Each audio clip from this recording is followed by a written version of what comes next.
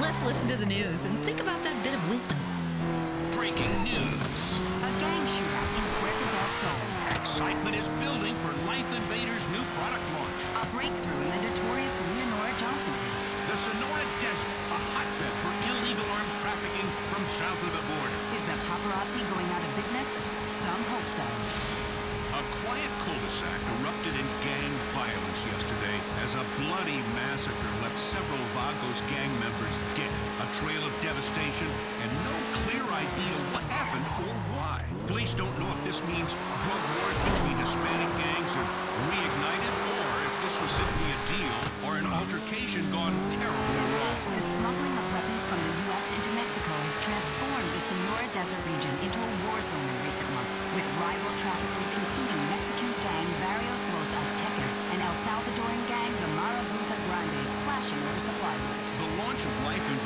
top secret but heavily marketed new hardware is just days away now, and the hype is at a fever pitch as social networking fanatics prove once again that there are no limits to what people are prepared to sacrifice in exchange for the illusion of relevance and popularity. Life Invaders CEO Jay Norris will unveil the product himself on live television. Since 1975, the brutal murder and dismemberment of starlet Leonora Johnson unsolved and captivated conspiracy theorists.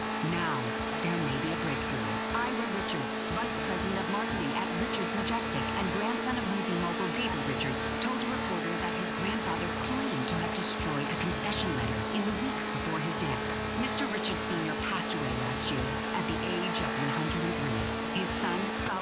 Solomon has run the family studio since 1978 and told reporters he knew nothing beyond the fact his son was a moron and his father was delusional. News: The number one industry in Los Santos after plastic surgery and therapy is crying foul. The local paparazzi union says that high-resolution camera phones are putting them out of business. Street photographer, union rep, Tyler Hughes. Any jerk with a camera phone can make money privacy of celebrities. It's really hurting our hardworking paparazzi who pride themselves on harassing celebrities to the brink of death. Weasel News.